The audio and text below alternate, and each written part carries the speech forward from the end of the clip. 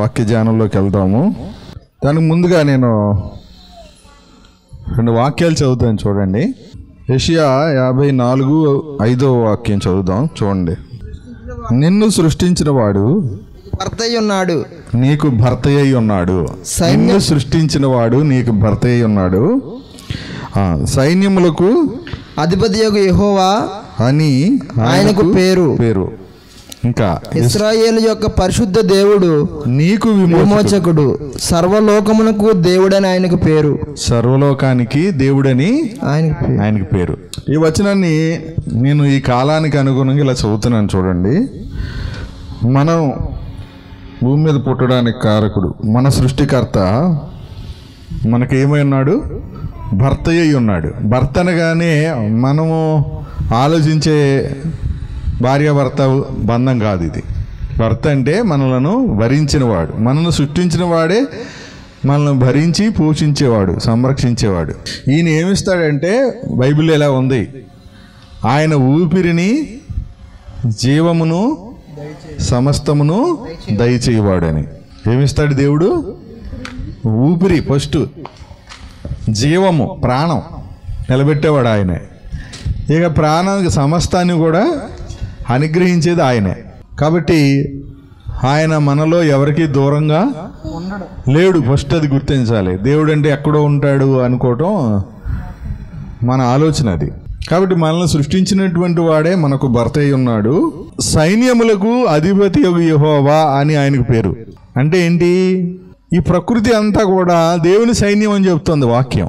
ఈ ప్ర- ప్రకృతి అంతా ఏంటి? సృష్టి అంతా ఏంటి? దేవుని సైన్యాలు. ఆ సైన్యాలను అన్నింటినీ కూడా ఆయన నడిపిస్తున్నాడు. సూర్యుడు చంద్రుడు నక్షత్రాలు ఋతువులు వర్షాకాలం ఎన్ని కాలాలన్నీ వస్తున్నాయి కదా? ఈ పక్షులు జీవరాశులు ఈ వృక్షాలు వీటన్నిటినీ నడిపిస్తున్నది ఎవరు?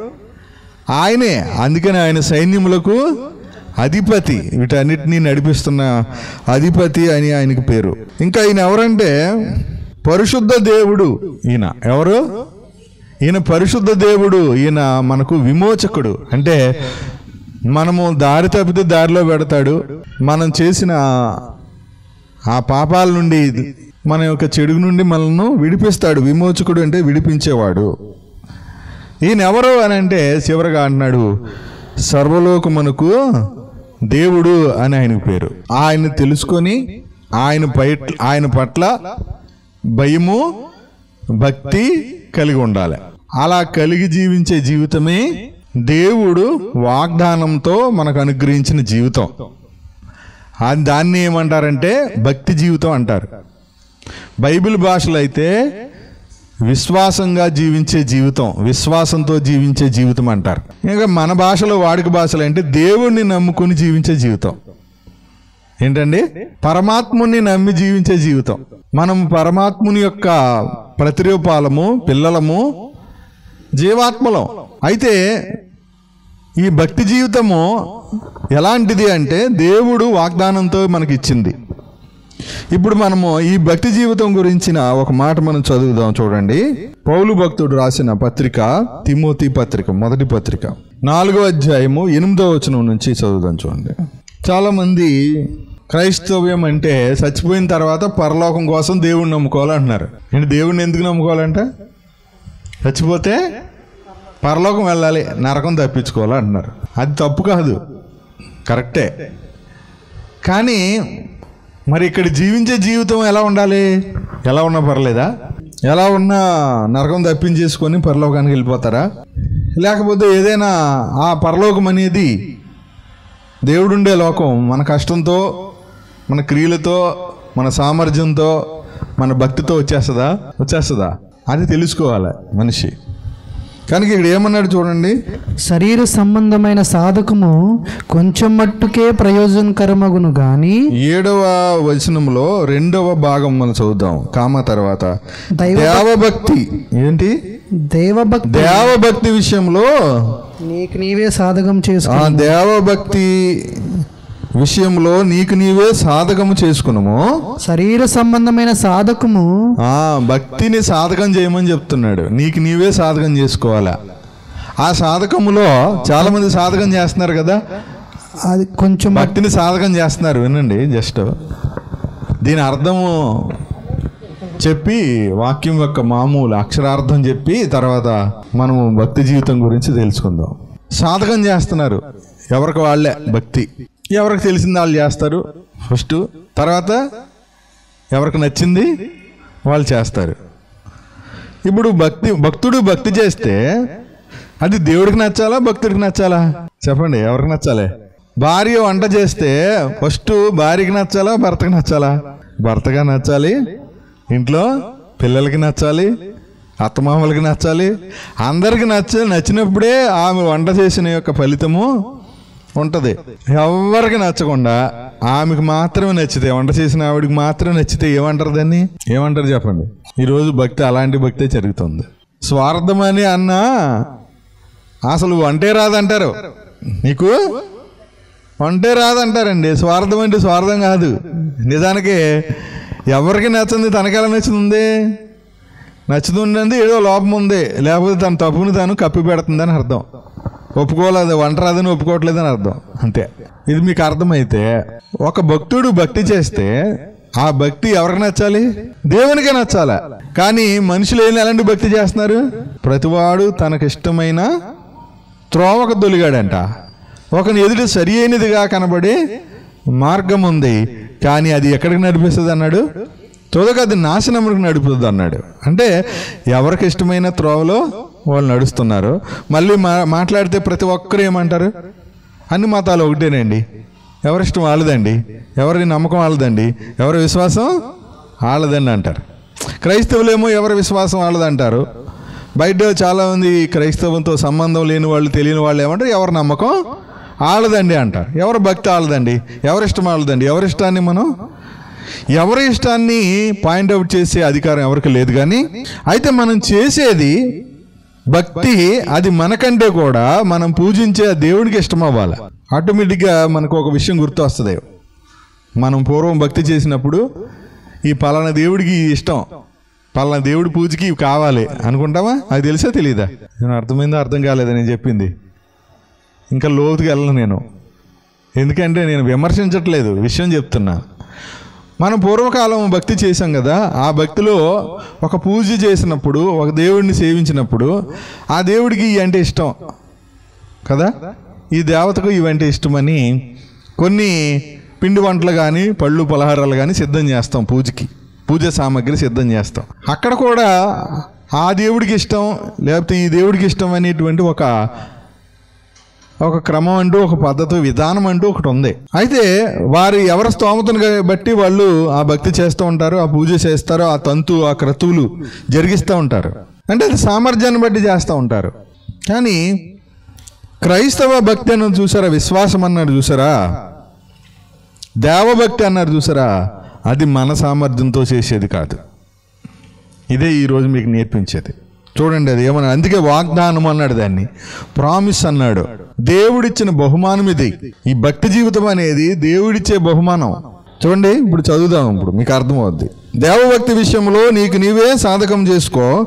శరీర సంబంధమైన సాధకము కొంచెం మట్టుకే ప్రయోజనకరమవును కానీ దైవభక్తి ఇప్పటి జీవితం విషయంలోనూ రాబో జీవితం విషయంలోనూ అది వాగ్దానముతో కూడినదైనందున అది అన్ని విషయములలో ప్రయోజనకరమగును. ప్రయోజనం అంటే అన్ని విషయాల్లో భక్తి మేలు చేస్తుంది అంటున్నాడు. అన్ని విషయాల్లో మేలు చేస్తుంది మేలు కలిగిస్తుంది.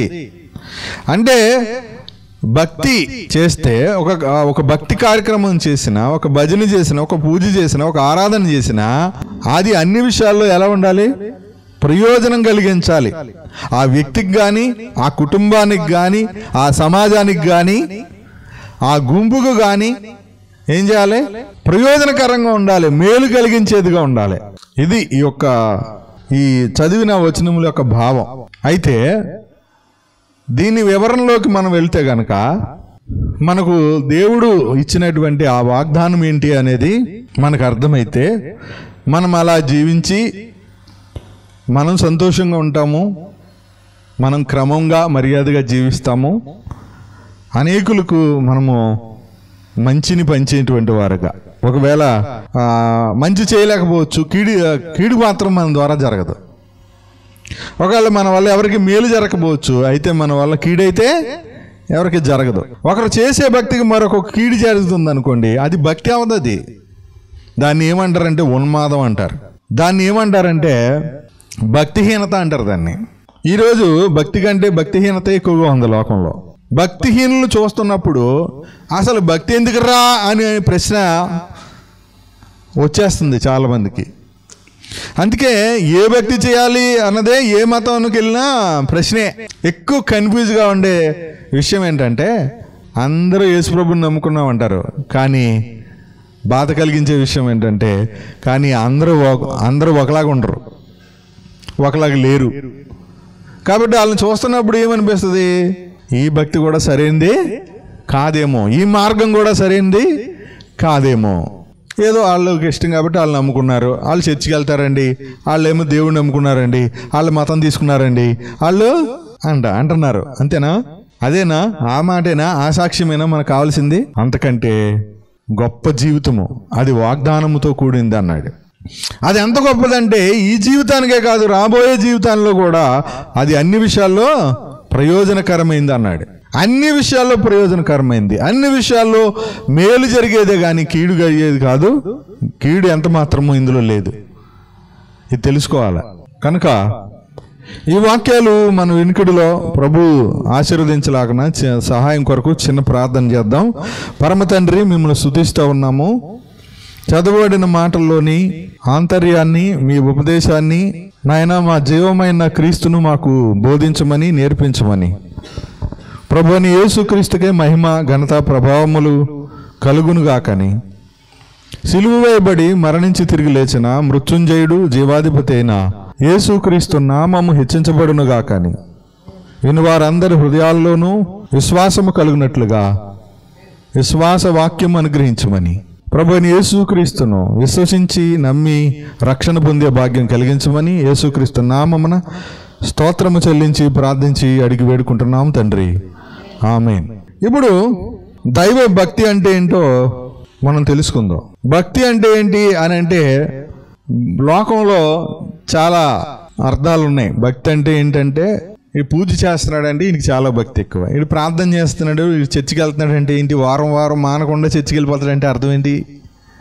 భక్తి ఎక్కువ అని రోజు అస్తమాను ఫోన్లో వాక్యమే వింటాడు టీవీలో వాక్యమే చూస్తాడు అస్తమాని బైబిల్ చదువుకుంటాడు అస్తమానం ప్రార్థన చేస్తాడు. అంటే అర్థమైంది ఈయనకి బాగా భక్తి ఎక్కువ అని భక్తి అంటే బైబిల్ అది చెప్పట్లేదు. చూడండి భక్తి అంటే జీవితం. భక్తి అంటే ఏంటి? జీవితం దేవుని వాగ్దానంతో కూడిన జీవితం అది. బైబిల్లోంచి కొన్ని మాటలు చూద్దాం చూడండి. ఇదే ఈ తిమోతి పత్రికలోని కొన్ని మాటలు ఉన్నాయి చూడండి. భక్తి అంటే అర్థం ఏంటని చెప్తున్నాడంటే మొదటి అధ్యాయం నాలుగో వచనంలో కామ తర్వాత ఉన్నటువంటి వచనం చూడండి. ఆ మాట చూడండి. విశ్వాస సంబంధమైన దేవుని ఏర్పాటు. భక్తి అంటే ఏంటి అనుకుంటున్నారు? విశ్వాస సంబంధమైన దేవుని ఏర్పాటు. దాన్నే కింద మీకు ఒకటేసేమన్నాడు గృహ నిర్వాహకత్వం అంటే ఏంటి? విశ్వాసముతో గృహాన్ని నడిపించుకోవటం ఇంటిని పరిపాలించుకోవటం. ఇది దేవుని ఏర్పాటు ఇది విశ్వాస సంబంధమైన గృహ నిర్వాహకత్వం అని చెప్పాలి. చూద్దామే ఇంకా. మూడో అధ్యాయంలో చూడండి. రెండో అధ్యాయం పదవచనంలోకి ఒక మాట ఉంది. అది స్త్రీలకు చెప్పాడు చూడండి. ఏం చెప్పాడు పదో వచనం? దైవ భక్తి గలవారమని చెప్పుకొను స్త్రీలకు తగినట్లుగా. సత్క్రియల చేత తమ్మును తాము అలంకరించుకొనవలెను. ఇక్కడ భక్తి అంటే దైవ భక్తి అంటే ఏం చెప్తున్నాడు? ఒక స్త్రీకి భక్తి కలిగి ఉంది ఒక గృహిణి ఒక సహోదరి ఒక స్త్రీమూర్తి ఒక పురుషునికి భార్య ఒక బిడ్డకు తల్లి ఎవరైనా అలవండి కదా? ఒక కోడలికి అత్తగారు కానివ్వండి. ఒక స్త్రీమూర్తి ఎలాగూ అలంకరించుకోవాలో చెప్తున్నాడు. అది భక్తి అట. చూడండి దైవ భక్తి గలవారము అని చెప్పుకుంటే వాళ్ళు ఎలాగ అలంకరించుకోవాలంట? ఏమన్నాడు?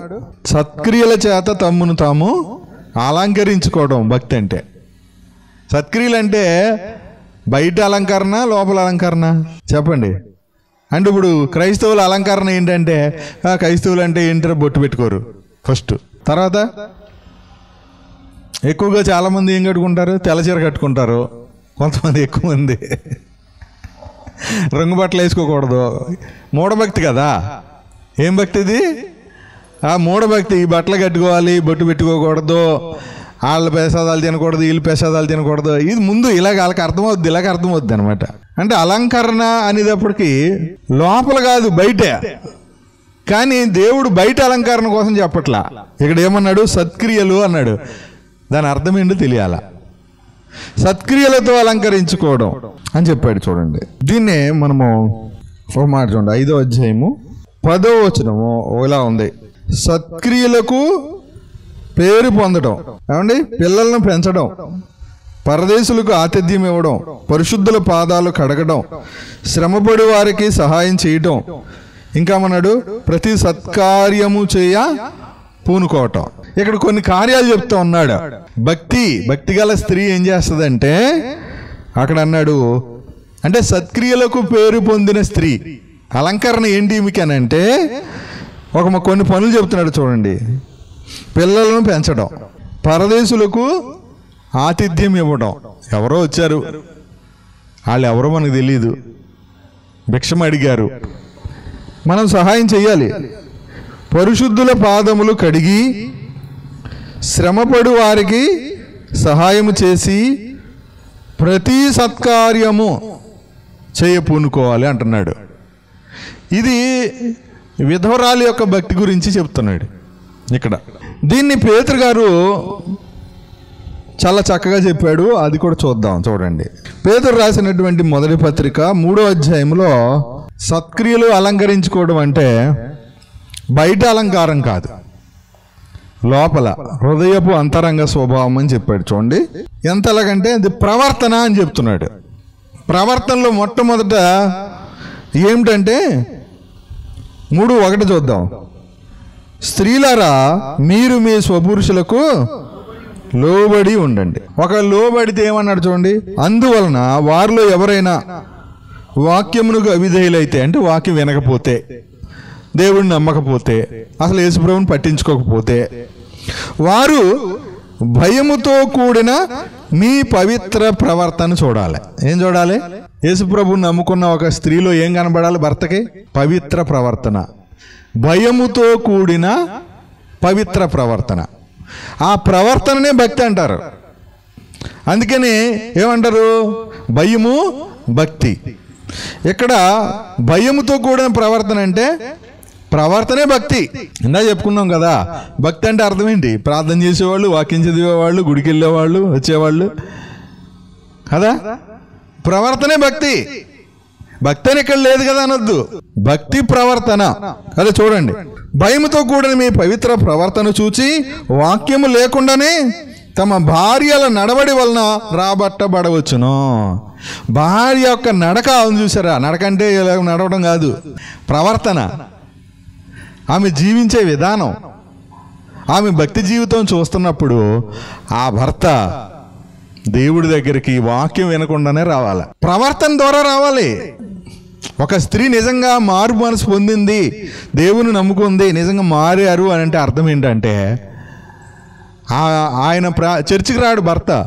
కానీ మారి ఎలా ఆమె మారితే నిజంగా ఆమె మారితే యేసుప్రభు నమ్ముకుంటే ఆమె నిజమైన భక్తి చేస్తే సత్క్రియలు చేస్తే ఖచ్చితంగా భర్త వాక్యం వినకుండానే ప్రభు దగ్గరికి వస్తాడు. ఈమె ఎంత ఇలాగ ఉండేది కదా ఈమె ఇలా మారిపోయిందంటే నిజంగా అసలు ఏమింటుంది వింటుంది? నేను కూడా వినాలని వస్తాడనమాట ఆ విన్న మాటలు మన హృదయంలో ఎలా పనిచేస్తున్నాయి? మన జీవితంలో ఎలా పనిచేస్తున్నాయి? ఆ విన్న మాటల ప్రకారంగా మన ప్రవర్తన ఉందా మన బ్రతుకుందా? మన బ్రతుకునే చూస్తారు కదా అందరూ. ముందు మన ఇంట్లో వాళ్ళు చూస్తారు. అసలు మనల్ని మన మనకి మనము ఎలా కనిపిస్తున్నాం అది చూసుకోవాలి ఫస్ట్ పరీక్ష. స్వపరీక్ష చేసుకోవాలి భక్తి అంటే. తనను తాను విమర్శించుకోవాలన్నాడు భక్తి అంటే. యాకోపత్రికలో ఈ విషయం చెప్పాడు. చూద్దాం చూడండి. భక్తి అంటే యాకోపత్రిక మొదటి అధ్యాయము ఇరవై ఏడో వచనం చూడండి. ఇలా ఉంది. తండ్రి అయిన దేవుని ఎదుట పవిత్రమును నిష్కలంకమైన భక్తి. భక్తి అంటే ఏంటి? నిష్కలంకంగా ఉండటం. లోపల కుళ్ళెట్టుకుని ఉండడం కాదు. బయటికి ఒకటి మాట్లాడుతూ లోపల ఎంతో దుష్టత్వాన్ని కోపాన్ని పగని ద్వేషాన్ని దాచుకుని పైకి అత్తయ్య అత్తయ్య అత్తయ్య అంటారు. కోడల దగ్గర కనబడుతుంది ఎక్కువగా ఈ విషయం. కోడళ్ళు అత్తగారు అంటే కోడలు అత్తగారి దగ్గర ప్రవర్తించే దాంట్లో ఎక్కువ నటన ఉంటుంది. ప్రత్యక్షంగా మనకి లైవ్లో కనిపిస్తుంది. కానీ నా భర్త యొక్క తల్లే నాకు తల్లి. ఆమె మాటే నాకు ఎక్కువ అని చెప్పి అమ్మ మాట కంటే అత్తగారి మాటని ఎక్కువగా ఈ కోడలు తీసుకుంటుందో ఆ కోడలే ఆ ఇంటి యజమానురాలు అయిపోద్ది అప్పుడు అత్తగారు పెత్తనం చేయదు. అమ్మ నీకు ఏది ఇష్టమో చెయ్యి. ఈ ఇల్లు నీది ఈ సంసారం నీది ఈ కుటుంబం నీది. నా వయసు అయిపోయిందమ్మా అని సమస్తాన్ని కూడా కోడలకు అప్పగించేస్తుంది. మేము వెళ్ళిపోయే వాళ్ళం మీరు ఉండేవాళ్ళని నేను ఎవరిని ఉద్దేశించి చెప్పట్లేదు వాస్తవం. భక్తి అంటే ఏంటి అనుకుంటున్నారు? ప్రవర్తన జీవితం. ఆ జీవితం ఇప్పటి జీవితము రాబోయే జీవితం. ఆ జీవితం ఎలా ఉండాలి? అందరికీ ఆనందాన్ని కలిగించేదిగా ఉండాలి. ఇందాక ముందు చెప్పాను కదా మేలు జరగకపోయినా పర్లేదు. కీడు మాత్రం మన ద్వారా జరగకూడదు. అది భక్తిలో ఉన్నది. ఇక్కడ ఏమన్నాడు చూడండి? తండ్రి అయిన దేవుని ఎదుట పవిత్రమును నిష్కలంకమైన భక్తి. భక్తి అంటే పవిత్రత. నిష్కలంకం అన్నాడు. కళంకం ఉండకూడదు. ఏని ఏమనగా? ఏమన్నాడు చూడండి? దిక్కులేని పిల్లలను విధవరాండ్రను వారి ఇబ్బందులు పరామర్శించుట. ఒకటి చెప్పాడు. ఏంటి? దిక్కులేని పిల్లలను పరామర్శించాలి. రెండోది ఏంటున్నాడు ఇహలోక మాలిన్యము తన కంటకుండా తనను తాను కాపాడుకునిటియనే అన్నాడు. ఈ లోకంలో మాలిన్యం ఉంది చెడుగు ఉంది పాపం ఉంది దోషణ ఉంది అపార్థం ఉంది అన్యాయం ఉంది మోసం ఉంది వేషధారణ ఉంది కదా? పైకి భక్తి గలవారే ఉంటారు. కానీ ప్రవర్తనలో ఆ భక్తి మాటల్లో ఆ భక్తి జీవితంలో ఆ భక్తి కుటుంబంలో ఆ భక్తి కానరాదు. అందుకే ఏమంటారు? మన ప్రవర్తన బాగోలేదనుకోండి. ఈ ప్రార్థనకి వెళ్ళే వాళ్ళు అందరూ ఇంతేనా? ఇలాగే ఉంటారా? ఈ పాస్టర్లు ఏ చెప్తారా? మీకు అని అడుగుతారు. అంతేనా? ఎవరైనా పాడు పని చేశారనుకోండి. అప్పుడు ఎవరైనా ఏంటి? ప్రశ్నిస్తారా? ఏంటి మీరు వెళ్ళే మీ భక్తులు లేకపోతే మీ మీ గురువులు ఇవే చెప్తున్నారు మీకు? మీరు వెళ్ళే గుళ్ళో ఇవే చెప్తున్నారు మీకు అని ఎవరన్నా అంటారా? అనరు. మరి ఎవరిని అంటారు? చర్చిలోకి వెళ్ళే వాళ్ళని అంటారు ఫస్ట్ ఈ పాస్టర్లు ఏ చెప్తున్నారు మీకు? ఏ నేర్పుతున్నారా? అని అంటారు. అంటే ఇప్పుడు ఎంత జాగ్రత్తగా ఉండాలో ఆలోచించండి అందుకని ఇహలోక మాలిన్యం. ఈ లోక మాలిన్యము మనకు అంటకుండా కాపాడుకోవాలి. ఇది ఎలా సాధ్యం ఇది? కాపాడుకోవడం అంటే అది కూడా మన పవిత్రంగా ఉండాలి. ఎవరిని ఏమి అనకూడదు. ఎవరిని దూషించకూడదు ఎవరిని తిట్టకూడదు ఎవరితోటి ఉండకూడదు. అనుకుంటే అవుతుందా అది? అంటే ఇక్కడ దైవ సహాయం కావాలి మనకి. భక్తి అంటే దేవుని సహాయంతో బ్రతకడం అనమాట దేవుని ఎదుట ఎక్కడిది? మనం చదివాం.